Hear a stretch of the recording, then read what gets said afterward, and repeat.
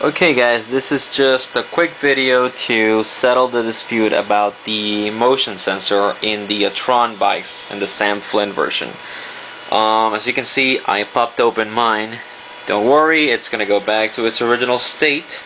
Although I actually might uh, disconnect the speakers because I don't care much for the sound uh, feature. I do like the the lights. I'm just I'm just not crazy about the sound. Um, anyways, um, this is basically the bike open, as you can see. Let me just move it out a little bit. There you go. And um, the motion sensor, or such, is not really a motion sensor, as it is. What it is, that's why you can't get it to work by moving it or dropping it or anything of that sort. What you have to do is roll it. And here's the thing. This right here, of course, is a bulb. Now, let me just turn it this way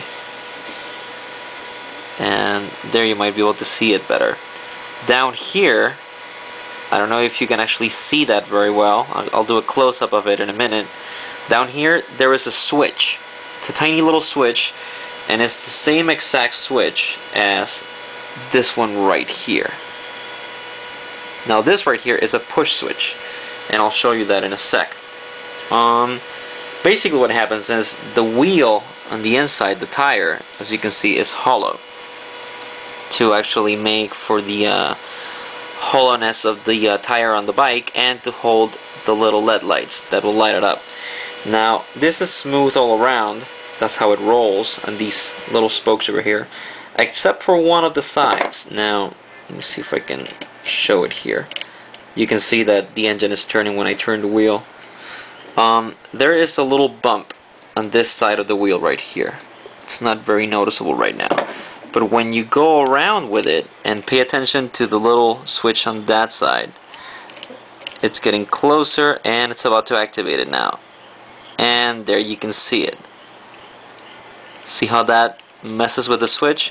When you roll the bike, that's why you can roll it a little and it doesn't do anything. This has to bump into the switch and that will activate the, uh, the light and sound feature on your on setting.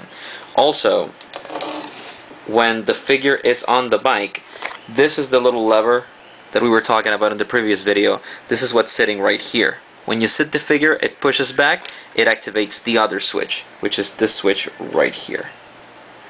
Now this are all this is basically all the equipment for the sound system, the battery chamber, and the little fake engine, which has a gear or two actually working here. So when this turns, it rubs against the little plastic wheel with a rubber ring around it, turns the gear, and it turns the engine, as you can see right there. But this actually settles the whole dispute about the motion sensor. It's not really a motion sensor, it's a switch that you activate when you roll the bike back and forth. So I hope that settles it.